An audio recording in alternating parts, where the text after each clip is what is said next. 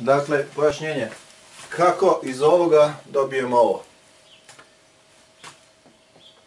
Korijen x na kvadrat je korijen iz x na kvadrat pa još jednom na kvadrat, jel?